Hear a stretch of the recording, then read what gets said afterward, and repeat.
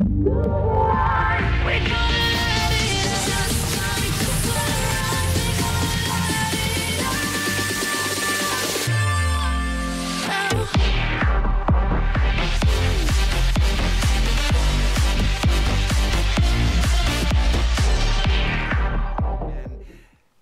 everybody, Flash Rabbit here and today we're going to do a quick tutorial.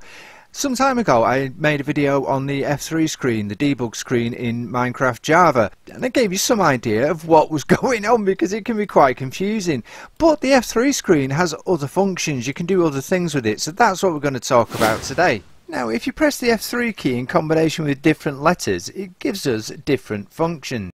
And some of them are more useful than others to us ordinary Minecraft players. So, for example, if you press F3 and A, it reloads all of the chunks in the world. So if I do that now, you can see everything is reloading. So that might be a case that you've got a bit of a glitch and you want to try and get rid of it. If you press F3 and B, it toggles the visibility of the hitboxes available on entities and it also shows the direction in which the entity is facing.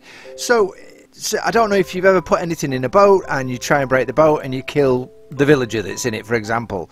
Well this will actually show you the hitbox so you can try and avoid doing that. If you press F3 with C it copies the, your location the player's location and rotation in the form of a TP command. So if you want to TP somebody to your location that's a really easy way to do it. If you were to press F3 plus D that will clear all of the text in your chat box. So for example if I press T on the keyboard and type a load of rubbish like that and send, if I now press F3 and D, it clears it. So when we bring up the text again, everything's gone. And sometimes that can be handy if you've got a messy chat. If you press F3 plus F, it changes the render distance. Another useful one is if you press F3 plus G. That toggles your chunk borders. So if you press F3 plus G, like that. You can see there we've got all of the borders on our chunks so now if we want to dig out a specific chunk or we can only build in one chunk for a challenge or whatever uh, you can quite easily see your chunk borders. And you just press F3 and G again